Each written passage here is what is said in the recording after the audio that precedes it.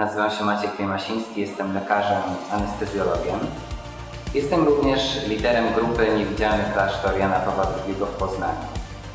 Nasza grupa, e, która ma spotkania regularnie przy klasztorze Ojców Karmelitów w Poznaniu, zajmuje się przede wszystkim formacją duchową osób, które opiekują się chorymi.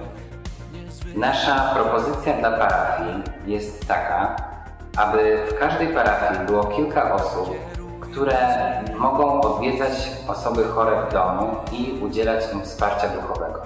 Zatem każda osoba, która w jakiś sposób ma kontakt z chorymi, czy jako szafarz Najświętszego Sakramentu, czy jako pracownik służby zdrowia, zarówno lekarze, pielęgniarki, fizjoterapeuci, rehabilitanci, czy osoby prywatne, które mieszkają po prostu w domu z bliską osobą chorą, chciałyby się dowiedzieć więcej o tym, jak można udzielać wsparcia, jak można rozmawiać z takim pacjentem i jak na koniec złożyć propozycję e, wspólnej modlitwy, która w naszej duchowości Niewidzialnego Klasztoru Jana Pawła II polega na tym, że każdy chory może ofiarować swoje cierpienie Panu Jezusowi w intencji innych osób.